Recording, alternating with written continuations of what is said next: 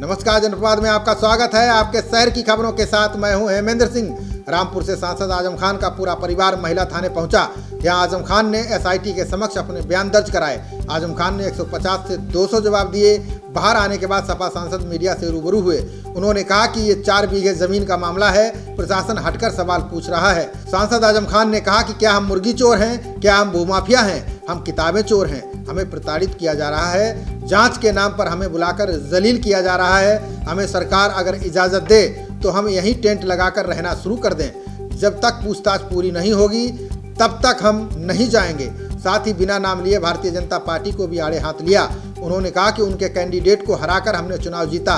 इसी का बदला हमसे लिया जा रहा है। अब सांसद आज़म खान ने एक हफ़्ते का समय मांगा है। आपको बताते चले कि आज़म खान के परिवार सहित आलियागंज वाले मामले पर पूछताछ कर रही है। और हमें यहाँ प्रताड़ित किया जा रहा है, अपमानित किया जा रहा है, सलील किया जा रहा है। क्योंकि हम मुर्गी चोर हैं, क्योंकि हम बकरी चोर हैं, भैंस चोर हैं पेड़ चोर हैं किताब चोर हैं, लेकिन हम एक विश्वविद्यालय के संस्थापक हैं। हम चार स्कूलों के संस्थापक, गरीबों के, उपेक्षित लोगों के। रामपुर में एक युवक को पीएम मोदी पर अभद्र टिप्पणी करना भारी पड़ गया। ये घटना ज़िले की कोतवाली टांडा क्षेत्र के चौकी दड़ियाल की है।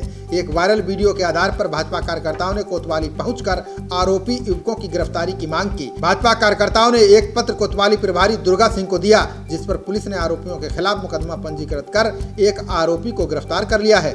वहीं दूसरा आरोपी अभी भी पुलिस की पहुँच से फरार चल रहा है, जिसकी गिरफ्तारी की कार्रवाई को लेकर पुलिस आश्वासन दे रही है। ये वीडियो पुलिस के भी संज्ञान में लाया गया। जिसके आधार पर इसमें अभियोग पंजीकृत हो चुका है और एक अभियुक्त की गिरफ्तारी भी हो चुकी है। इसमें प्रधानमंत्री के बारे में मर्यादित टिप्पणी की गई थी। गाली गलौज की भाषा का प्रयोग किया गया है और छुरी चाकू से काट देने तक की बात कही गई तत्काल इसका संज्ञान लेते हुए पुलिस ने अभियोग दर्ज कर लिया है। एक अभियुक्त की गिरफ्तारी हो गई है। दूसरे अभियुक्त की भी पहचान लगभग हो चुकी है और शीघ्र उसकी भी गिरफ्तारी। सपा अध्यक्ष अखिलेश यादव के निर्देश पर समस्त तहसीलों पर कार्यकर्ताओं ने मौजूदा सरकार के विरोध में एक दिवसीय धरना दिया। धरने के दौरान समाजवादी पार्टी के नेताओं ने अपने संबोधन में सरकार को घेरा। सपा नेता राम बहादुर यादव ने कहा कि अखिलेश सरकार ने कई विकास कार्य किए उन्होंने सपा सरकार की उपलब्धियाँ गिनाते हुए समाजवादी पार्टी के राष्ट्रीय अध्यक्ष की तारीफ़ की। यादव ने कहा कि टाइगर रिज़र्व जंगल से शेर निकलकर गाँव में घुस गया। खेतों में काम कर रहे किसानों को आए दिन निवाला बना रहा है। ये बहुत चिंताजनक विषय है। सरकार ने अभी तक कोई ठोस कदम नहीं उठाया है। कार्यक्रम में से बिजली की बड़ी दरें, पेट्रोल, डीजल, रसोई गैस और यातायात नियमों के नाम पर जुर्माने ने कमर तोड़ दी है। देखिए ये जो लोग आए हुए धरने में हैं ये अपने अपने गाँव के अपने अपने क्षेत्र के सब नेता हैं। जी। एक एक व्यक्ति जो है कम से कम जब जो है दस दस बूथों का पंद्रह पंद्रह बूथों पर इनका जो है अस्तित्व है ये जिताते हैं लोगों को हराते हैं। और ये धरना जो है आज जो डीजल के दाम जो है आसमान छू रहे हैं। खाद की बहुत समस्याएँ हैं। फ़सलों का जो है, बहुत बड़ा नुकसान हुआ है, तमाम समस्या है। जंगल के किनारे के जो किसान है, शेर से जानवर से बहुत डर है। हम चाहते हैं उनकी तार फेंसिंग हो, उनकी सुरक्षा हो। यही मांगे हैं, तमाम ऐसी मांगे हैं जो समाजवादी पार्टी जो है, धरने के माध्यम से रख रही है।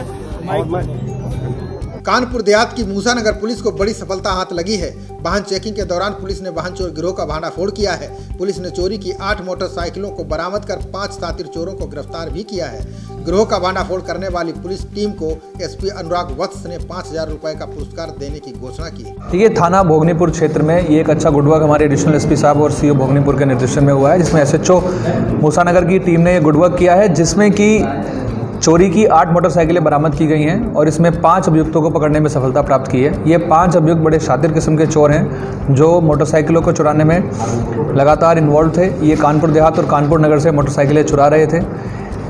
सबसे पहले दो लोग दो मोटरसाइकिलों पर इन पाँच लोगों को गिरफ़्तार किया गया। उसके बाद इन्हीं की निशानदेही पे जो अजय है, जो इस पूरे गैंग का सरगना है, उसकी निशानदेही पे बाकी छः मोटरसाइकिलें उसके घर से बरामद की गई हैं। और अब हम कोशिश कर रहे हैं कि इन सभी मोटरसाइकिलों को कनेक्ट किया जाए। जब ये चोरी हुई है तो किस थाने में मुकदमा लिखा गया है? उन मुकदमों को जब कनेक्ट इसमें किया जाएगा तो इनका लंबा आपराधिक इतिहास निकल के आएगा और उन मुकदमों के आधार पर इस पूरे गैंग के खिलाफ हम लोग गैंगस्टर एक्ट में कार्रवाई करने चाह रहे हैं। जी हाँ जैसे इस टीम ने अच्छा काम किया है, इसमें जो सब इंस्पेक्टर है, अरुण कुमार, उन्होंने इसमें अच्छी भूमिका निभाई है। इस पूरी टीम को हमारी तरफ़ से पाँच हज़ार का इनाम दिया जा रहा है। जिला रामपुर में राजा रानी पैलेस में बीजेपी की ओर से पिछड़ा वर्ग मोर्चा सम्मेलन किया गया। भाजपा प्रत्याशी भारत भूषण कार्यकर्ताओं के साथ यहाँ पहुँचे। बीजेपी कार्यकर्ताओं ने फूल माला पहनाकर जोरदार स्वागत किया। कार्यकर्ताओं को संबोधित करते हुए रामपुर भाजपा प्रत्याशी भारत भूषण ने बिना नाम लिए सांसद आज़म खान पर निशाना साधा। उन्होंने कहा कि आपके साथ जो अत्याचार हुए हैं, आपकी जमीनों पर अवैध कब्जे हुए हैं, उसका सरकार बदला ले रही है। गुप्ता ने भाजपा सरकार की उपलब्धियाँ गिनाई। भारत भूषण ने जनता से अपने लिए वोट भी मांगा। तारीख तक आवेदन ना रुके, तुम्हें सौगंध भारत माता की। वो कहते हैं मोदी जी, ये देश नहीं रुकने दूँगा, ये देश नहीं रुकने दूँगा। और भारत माता को जब तक दुनिया के शीर्ष पे ना पहुँचा दे, भारत माता का वैभव जब तक दुनिया पे ना पहुँचा दे, तब तक हमें रुकना नहीं है। ये रामपुर से तोहफा दो दो मोदी जी को, भारत भूषण गुप्ता को विधायक नहीं? बना के अपना एमएलए बना के अपना, सेवक बना दो, मुख्यमंत्री जी को सौगात दिला दो। ये देवेंद्र सिंह जी, ये डी के शर्मा जी, अपना घर छोड़ के ये मुंशी आदत कर दी यहाँ रामपुर में डेरा डाले हैं। इनका सीना वोट डाल के फट से चौड़ा कर दो। जब ये उत्तर प्रदेश में जाए, देश में जाए तो इनसे मोदी जी कहते कि आओ मेरे लाल, तुमने कर दिया रामपुर में कमाल। त्योहारों का सीज़न आते ही बिजनौर में मिलावटी मिठाई का कारोबार फलता फूलता नज़र आ रहा है। ऐसे में प्रशासन ने नकली मिठाई के खिलाफ अभियान तेज कर दिया है। उप जिलाधिकारी नजीबाबाद ने खाद्य सुरक्षा विभाग की टीम के साथ नजीबाबाद थाने क्षेत्र के मछली बाज़ार, कल्लूगंज सब्ज़ी मंडी व अन्य इलाकों में मिठाइयों की दुकानों पर छापा मारा। टीम ने कई कुंतल मिलावटी रसगुल्ले बरामद किए। एसडीएम नजीबाबाद के नेतृत्व में खाद्य सुरक्षा विभाग के अधिकारियों ने इन मिलावटी रसगुल्लों का सैंपल लेकर जाँच के लिए भेज दिया है। एसडीएम ने मिलावटी पाए गए रसगुल्लों को नष्ट करने के आदेश खाद्य सुरक्षा विभाग की टीम को दिए। उधर क्षेत्र में एसडीएम द्वारा प्लास्टिक का सामान बेचने वाले दुकानदारों के खिलाफ भी कार्रवाई की गई। इस दौरान इलाके के दुकानदारों में हड़कंप मचा रहा। त्योहारों को देखते हुए मिठाई की दुकानें वहाँ पे जो मिलावटी सामान बिक रहा है या भविष्य में होने वाली फ़ूड पॉइजनिंग की दवाओं घटनाओं से बचा जा सके?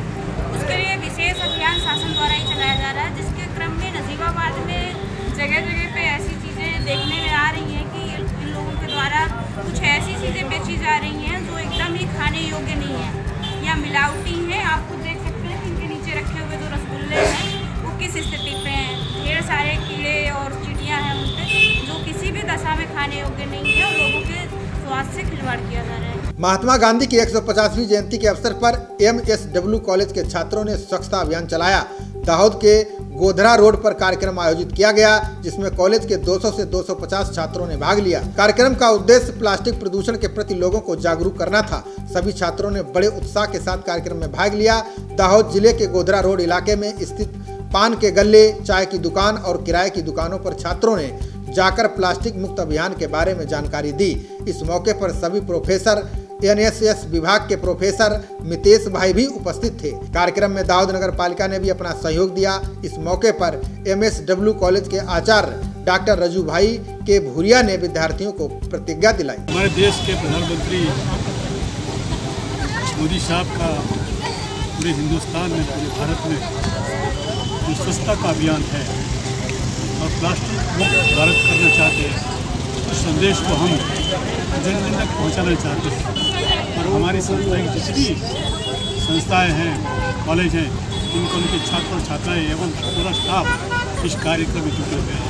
जिस कार्यक्रम को सफल बनाए यही हमारी आर्ट्स कॉलेज और एम कॉलेज के छात्राओं ने मिलकर ये सफ़ाई अभियान का कार्यक्रम किया है, जिसमें हमने सभी छात्राओं के साथ प्रतिज्ञा ली है।